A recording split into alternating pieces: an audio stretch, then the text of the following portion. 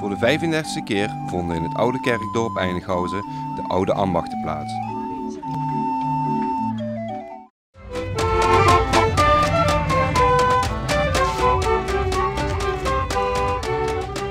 Wie is het idee ontstaan van de oude ambachten 35 jaar geleden? Het idee is in principe ontstaan door eh, Louis uit het dorp voor eh, een inzameling, de mooie renovatie aan de kerk gebeuren.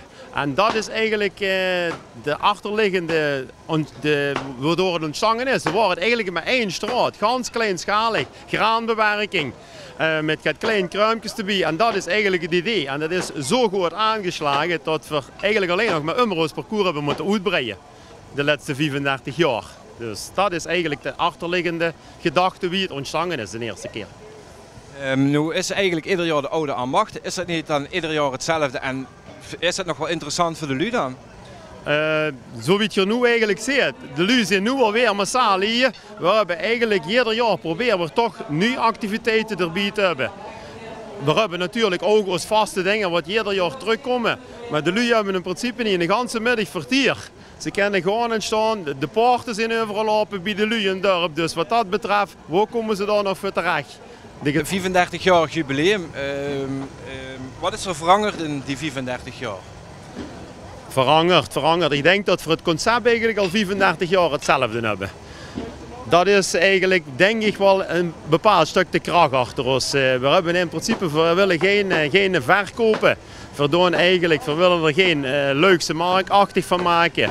We willen de lui niks opdringen. En het concept is in principe niet veranderd. En wil je dat zo op die manier dan nog 35 jaar voldenken? 35 jaar gaan we er zeker proberen, maar we gaan van beginnen meteen. Als we dat al eens weer kunnen volmaken, dan hebben we het alweer netjes gedaan, denk ik. We vroegen aan de organisatie welke hinder ze hadden ondervonden van Ironman. We hebben natuurlijk eh, van tevoren met de organisatie behoorlijk last van Ironman toch wel gehad. We hebben ons best gedaan voor eh, de lui eh, toch zo goed mogelijk naar ene koersen te krijgen. Via omleidingen en noem maar op. Ik denk toch dat de lui gaat weer zijn motorieën. Dan wil ik ze eigenlijk nog even goed, die lui wat hier zijn geweest, voor bedanken dat ze dus even goed naar ene koersen zijn gekomen. Ehm, ik denk dat we er gaat last van hebben gehad, maar als ik nu om mij bij kijk, denk ik, vult het me alweer met. Dus wat dat betreft denk ik eh, dat we toch ons best hebben gedaan weer. Voor de, de lui toch een ene koers te krijgen. Ondanks Ironman en de zomerse warmte verkoos men de oude ambachten boven het zwembad. Het is wel weer voor het zwembad, maar dit is ook leuk. En wat wil je dan specifiek aan het kind meegeven? Er zijn opa's eh op het accordeon aan het spelen, dus eh, daar gaan we eens even in kijken. Ah, oké. Mooi. Ja. Veel plezier. Dankjewel. Nee, in het zwembad, nee. Dit interesseert me meer als eh, het zwembad dat hebben we gehad is. En wat interesseert je speciaal bij de oude ambacht? Ja, de, de standwerkertjes en zo, weet je, gezelligheid. Ja, dat eh, interesseert me dus. En dan in combinatie met het weer is genieten. Zonder meer. Natuurlijk voor de oude ambachten, dan moeten ze de kindertjes altijd bijbrengen wie dat vroeger gegangen heeft. Hè? En het is gezellig hier altijd.